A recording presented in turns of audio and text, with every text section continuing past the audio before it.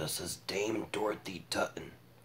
She was an actress that lived between 1930 and 2001.